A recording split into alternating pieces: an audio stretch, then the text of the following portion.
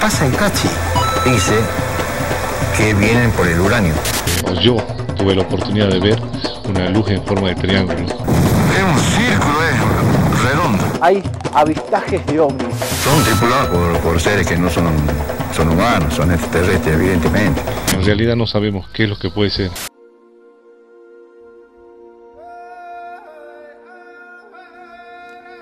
¿Qué es lo que en verdad sucede en Cachi?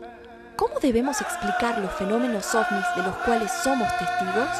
Hoy solo tenemos preguntas y registros que servirán de guía para quienes en el futuro se sumerjan en nuestra búsqueda.